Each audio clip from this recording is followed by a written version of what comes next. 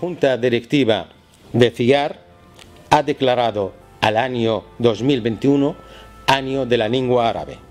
El objetivo es implicar a las distintas instituciones que se dedican a la, a la enseñanza de la lengua árabe o los que están interesados en ella para realizar distintas actividades en pos de la difusión literaria y lingüística. Un proyecto que será coordinado por la doctora Hanan Saleh, adjunta a la presidencia de CIAR.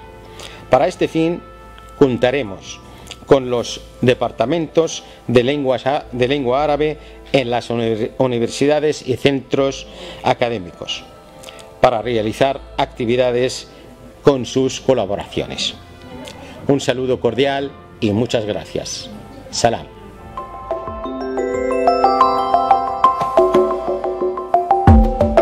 شرفت اليوم باستقبال الأستاذ عبد الوهاب التونسي رئيس المنتدى الثقافي العربي الإسباني ثيار ويرافق الدكتور فادي سلفيتي رئيس صدى إسبانيا وذلك لتسليم قرار تسميتي الرئيس الفخري لهيئة جائزة ولادة بنت المستكفي. وطبعا هذا هالتسمية هيدي أنا لي شرف كبير إني أقبلها وأعتز بها. وهيدي تأتي عقب موافقة معالي الأمين العام لجامعة الدول العربية أحمد أبو الغيط على أن تقوم البعثة بالتصديق على شهادات الناجحين باختبار مسابقة ولادة مثل المستكفي. طبعا بهذا الإطار أنا بهمني أني أكد على دعمنا الكامل للأنشطة الثقافية المميزة يلي بيقوم فيها المنتدى الثقافي العربي الإسباني وأنا أحيي وأشد على أيدي رئيسه صديقي الأستاذ عبد الوهاب التونسي. لا شك إنه العمل الهادف اللي بيقوم فيه المنتدى اللي هو دعم الثقافة العربية هو محل إجماع وتقدير منا جميعا. بتمنى لكم كل التوفيق بأعمالكم وأنشطتكم المستقبلية. شكرا.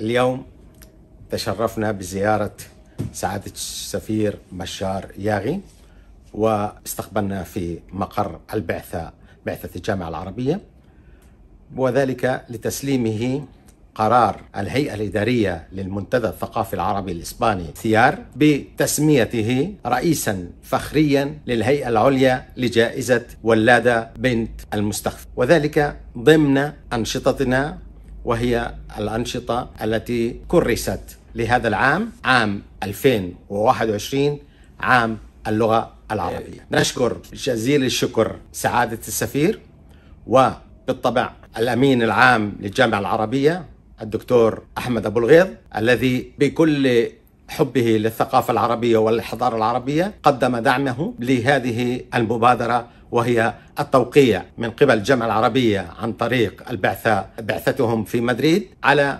شهادات التقدير للناجحين في المسابقة مسابقة ولادة بنت المستكفي.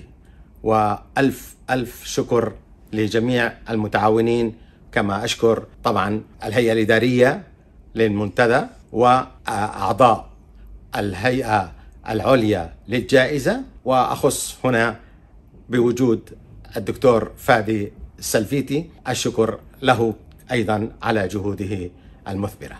شكرا.